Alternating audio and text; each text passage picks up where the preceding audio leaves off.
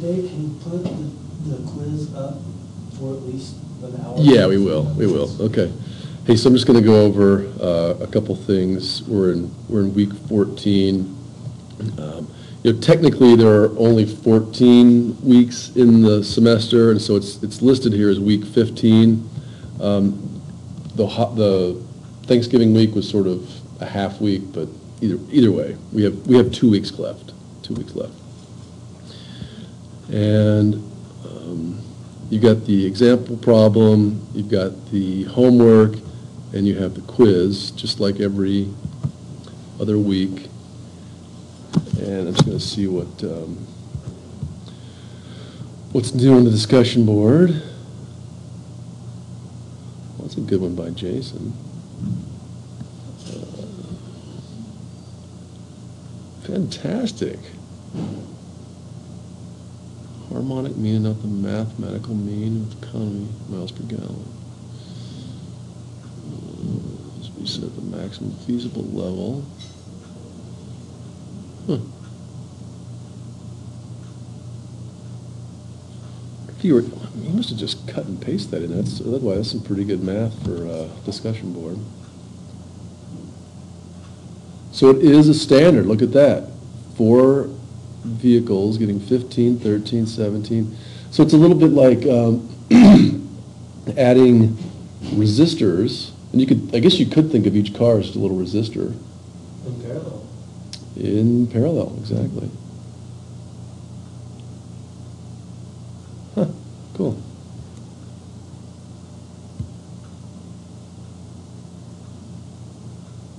Nice, nice work, okay. Some good research. Research, what else is there? Two replies, I see Jason's. I don't know, every time. Oh, there's Serenity's. Fifty-four, okay, that's percent over. Level, current standard, okay. Um, Our size base, formula to calculate.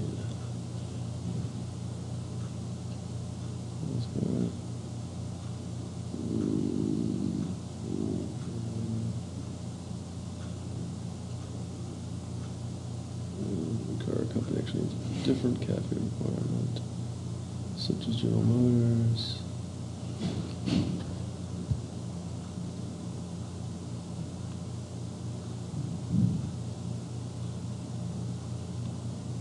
Huh. Corporate average fuel economy, nice, nice. Good answer there, Noel.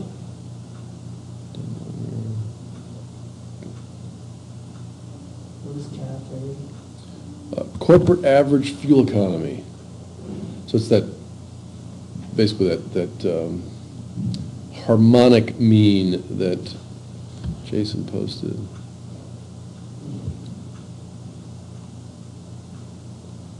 Well done.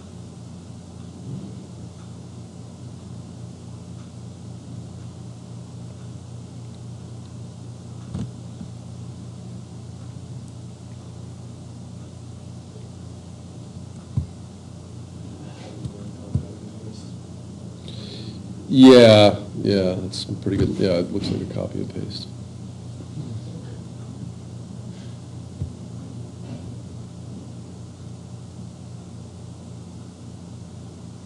You know, that's, that's one thing I want to address. Um, As I noticed in, um, We're we're online, yeah, we're online, it's fine. Um, I did notice in a couple students' um, papers that there were some, um, there was some language in there that should have been put in quotes. So if if you've got a significant amount of language in your paper that you did not write, it needs to be in quotes, otherwise it's plagiarism. Yeah, in other words, that whole thing should be. in Yeah. Well, what he, what he did do is, um, source, I mean, there's this, there's a source. Let's see what his, see what source says.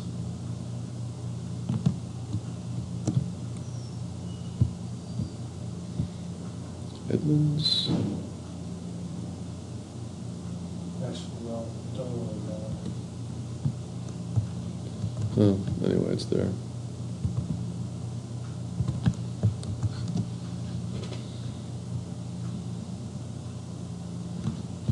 Edmunds is one, and there's the other one.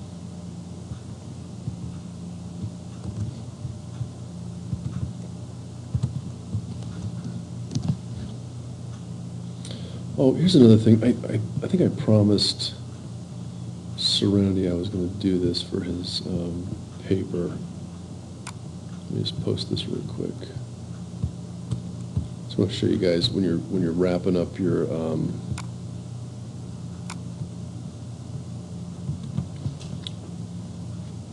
I'll just show you specific what I, what I mean on the, uh, on You the did go to the, the distillery, huh?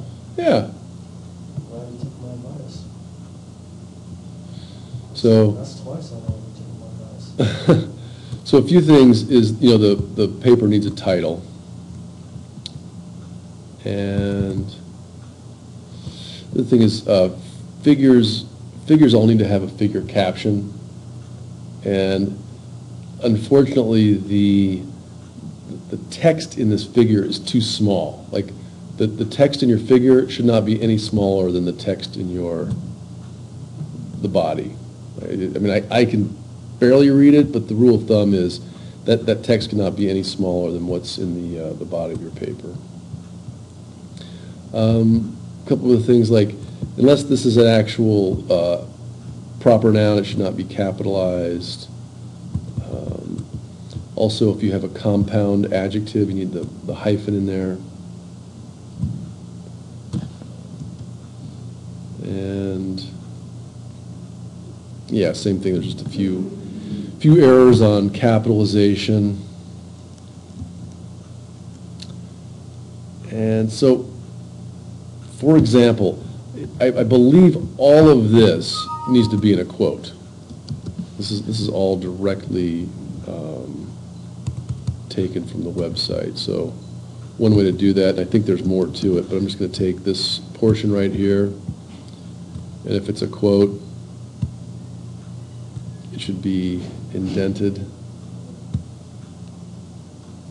and also italicized, just so it's clear that this is not something that um, uh, was written by the, the paper author. It was, it was something that was lifted from another source. Oh, and I, I do it here as well, so that's how to do it. What else, what else, what else, what else? Oh, um, the other thing that really needs to happen, and, you know, pay attention here, because I can see that there are references, uh, HTML references at the bottom of the slide, and there are a couple different ways to do that properly, and let me show you what those are. Because the way they are right now, it's, it's not, um, it's not proper. So you can go like this. So here's the URL, and I'm just gonna do Control C. And I don't, and so the problem is, I don't know what that reference is referring to. It's just floating out there in the breeze. I don't, I don't know what, where- what it's floating to. But if it's coming from, if it's actually referencing, let's just say this portion, I can do Control K,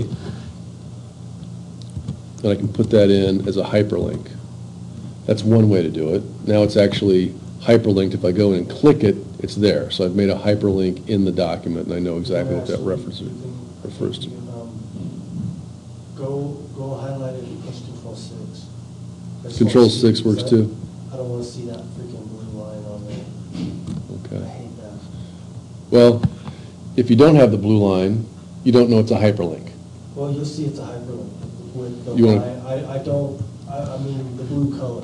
You don't like the blue? No, the blue colored in text. I can handle like a number or, or, you know, something, but when you're reading the text, you see that blue color, it's just like, uh, I don't. Wigs you out? Okay, so here's another way to do it. I'm get, I get pixelated. It's like Japanese anime. It's okay, so here's another way to do it. Ready? This is actually the preferable way. So insert, actually, no, it's under references, insert a footnote, It's a- it's a footnote. and there it is. So that's, that's another way too. Now you just have the one little, uh, your, your footnote. Does that make you feel better? No, because that's gotta be blue now.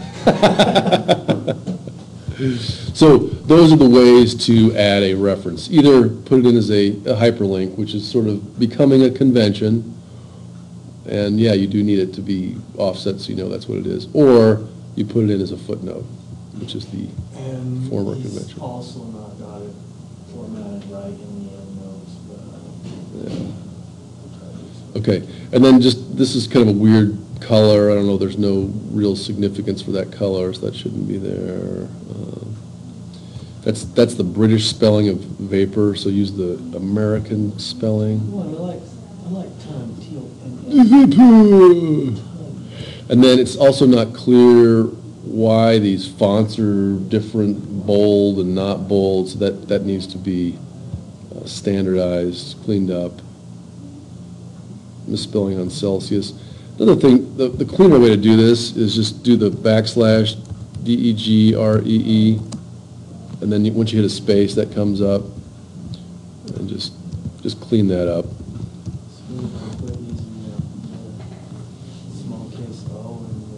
Yeah, the back, the backslash uh, degree makes the symbol. And again, this, the, just, you know, if this, this is not legible, so if you want to include this, go in and redo it in PowerPoint.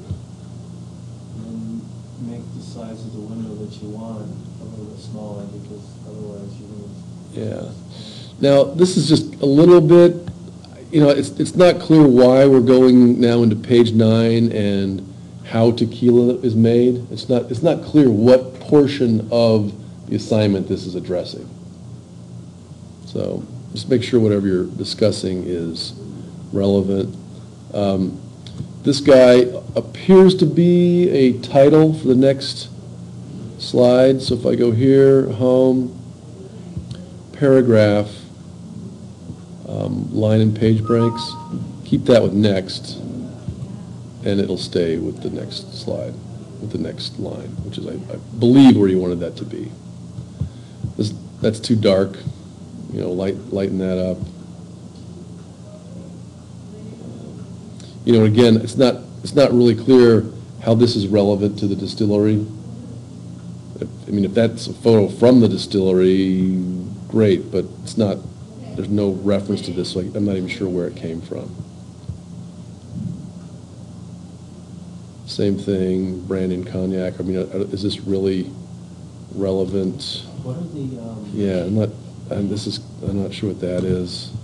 It just, just looks like kind of a, That is a straight copy and paste error. well, I know, it looks like a very panicked sort of copy and, and and Well, paste. The the copy and the paste is what happens is that he's copied that out of like a Python program and Yeah. put it into a C program. Yeah. And they're not, they don't have the same references for, So, yeah, all the, all the figures need to have captions with them, figure captions, you know, and, and the way to do that, um,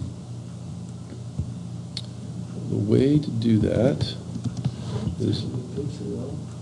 pretty good picture, yeah, so, um, insert,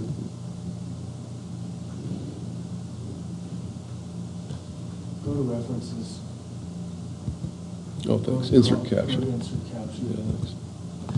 So, you know, And then caption. go- Then you can go up to where you want, to you put your figure, see that figure, and go to your cross references and follow on, you know. Yeah, yeah. Okay, so anyway, it's a good start, but needs some, needs a little more work. All right, so I'll let y'all um, wrap up.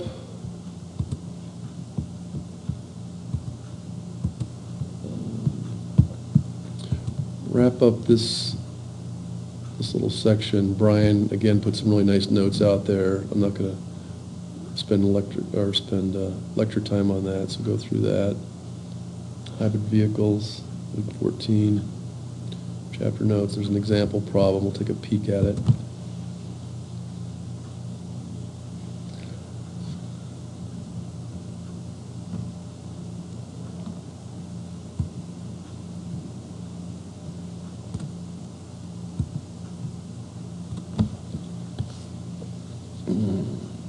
little problem.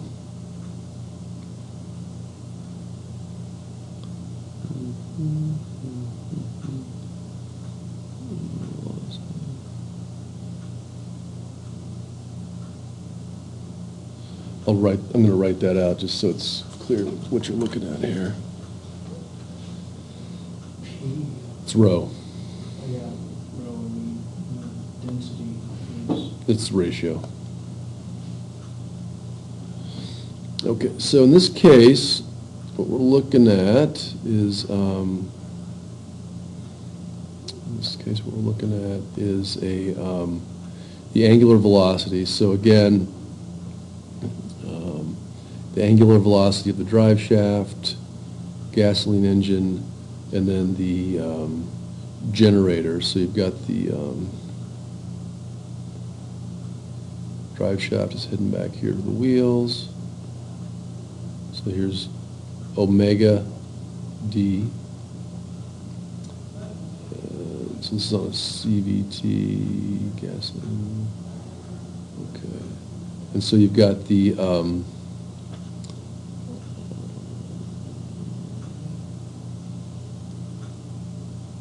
engine. So I'll just put a little engine here. It- And it's going to have a uh, drive shaft, so omega E. And then the, the generator, so this is going to run into a generator.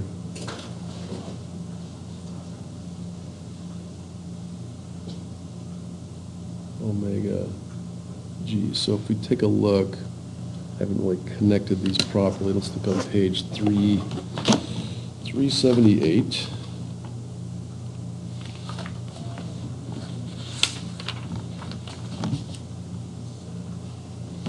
Yeah, so the, the photo I'm looking at in the book, it's on page 378.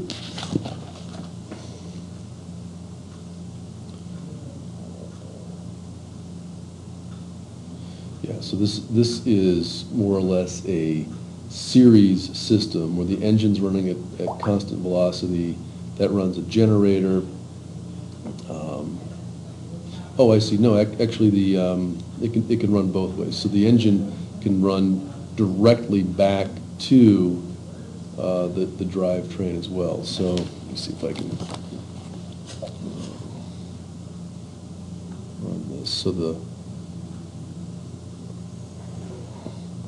so I'm just gonna, say there's a, there's a, there's a gearbox here of some type. The engine comes into the gearbox, we come out of the gearbox, and that goes to the uh, drive shaft. There's also, the engine goes to the um, generator, that goes to a set of batteries, that goes to a motor, and the motor also runs into the, um, the drive shaft, and of course, this comes off and the wheels spin. So we've got three separate angular velocities to deal with. We've got the, the drive shaft angular velocity, we've got the engine angular velocity, and then we've got the generator angular velocity. So one, two, three. And I'm, I'll put this as gears for G, uh, no, let's see. Let's call that, um,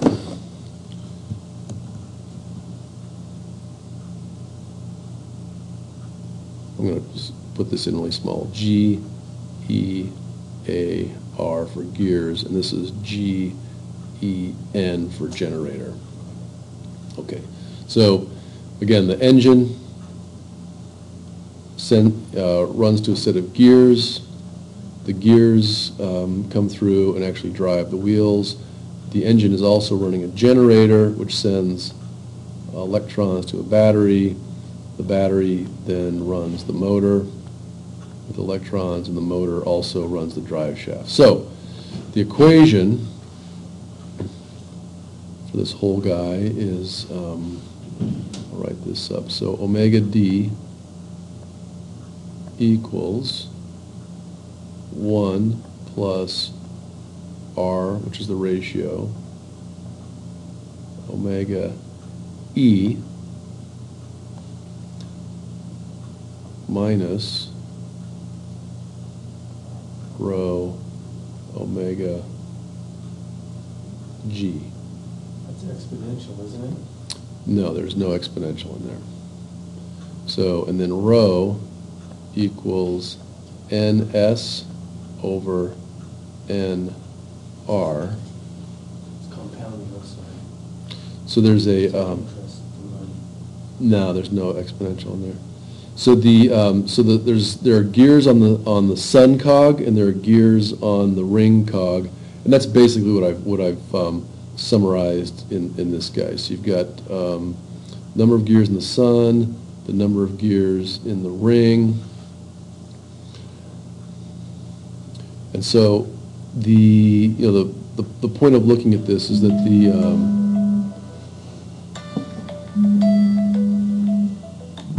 point of looking at this is, is the faster the engine runs, obviously the faster the um, wheels spin. In this case, though, if the, uh, if you're using the regen brakes, that detracts from the speed. So this is like, you know, a a regen system. So let's calculate the RPMs on the drive shaft, given the data above. So the number of gears on the sun gear to the number of gears on the ring gear is 30 to 72 for .41 ratio. And then straight from there, you can see that the, um, uh,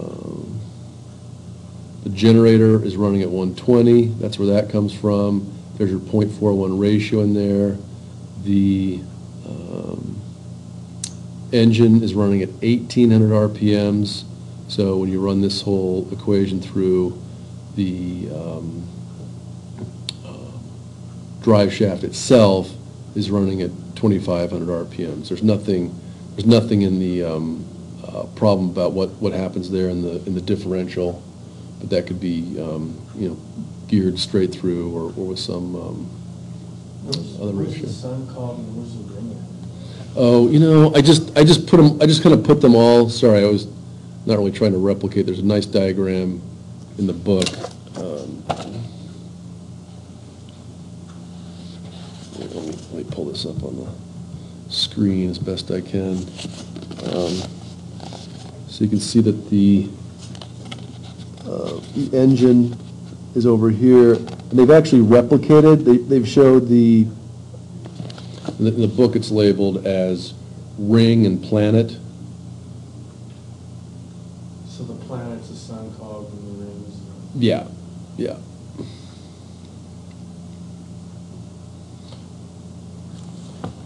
And there's a, in the, um, and here's a, here's a shot of what the, um, what it actually looks like. Well, yeah, let's see here. I mean, because they've, they've kind of left one of them out. The, um, the sun gear is sitting there at the middle. The ring gear is on the outside, and there are four planetary gears. So,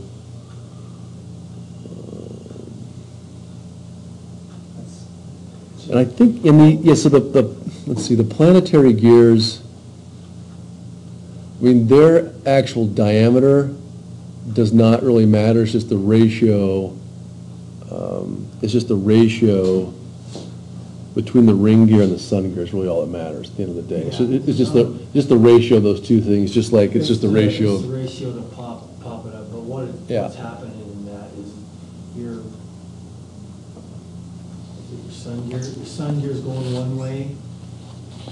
That would mean your, your little planet gears are going the other way.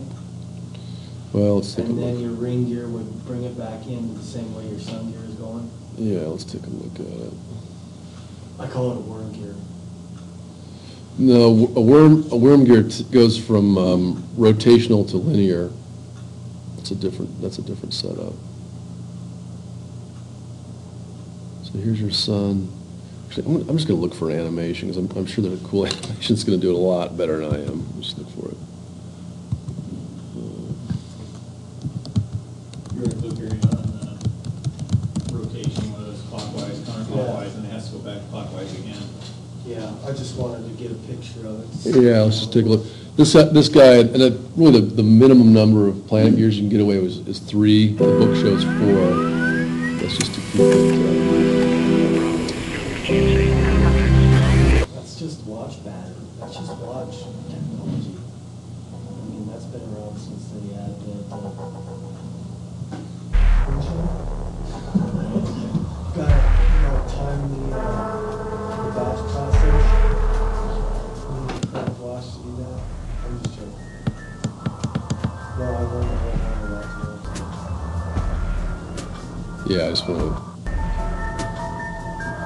this is just showing the assembly.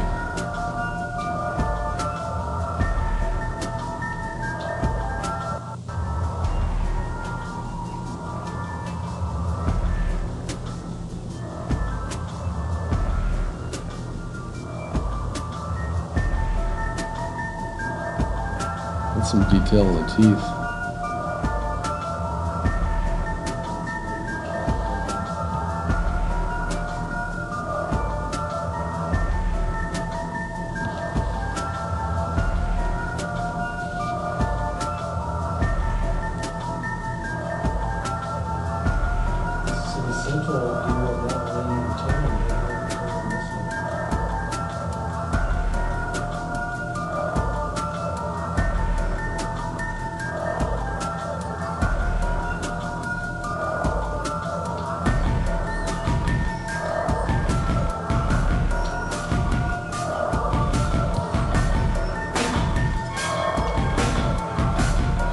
A while since I've looked at this. Um,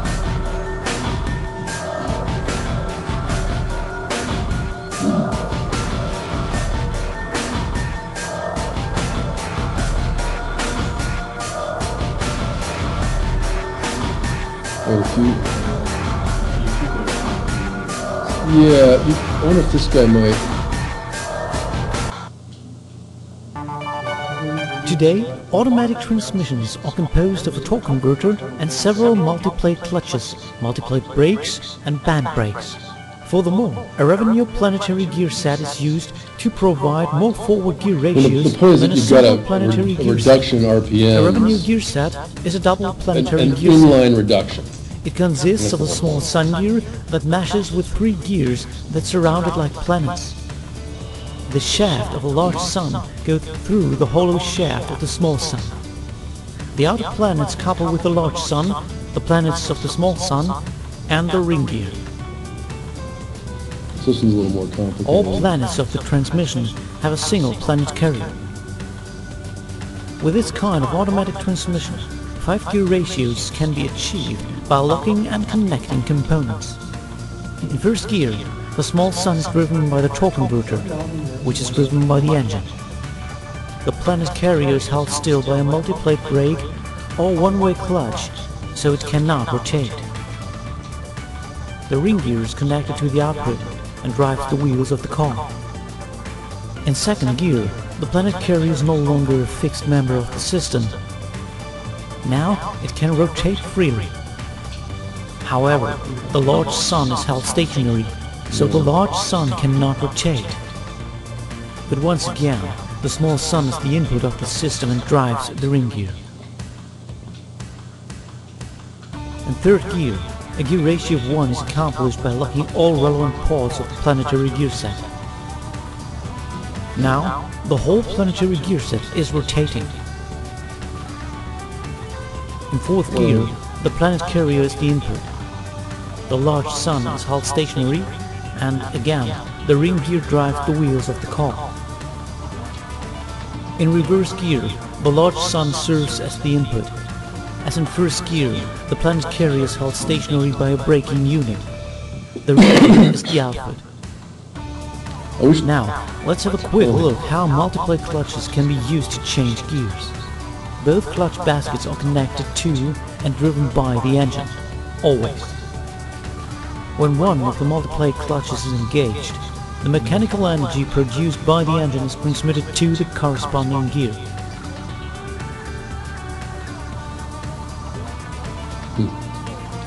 so that was a little more complex than the one that was shown in the, um, in the book, but, but the point is, is that you, you know, rather than having to have two gears side by side with one, one shaft, um, if you, if we just draw it from above, you know, rather than having to have something, When it comes to high-performance automobiles, you know, um, like this, with this guy going this way, and this guy going this way, rather than side by side, the sun, planet, and ring allow you to be in line. That's, that's the whole point. Okay.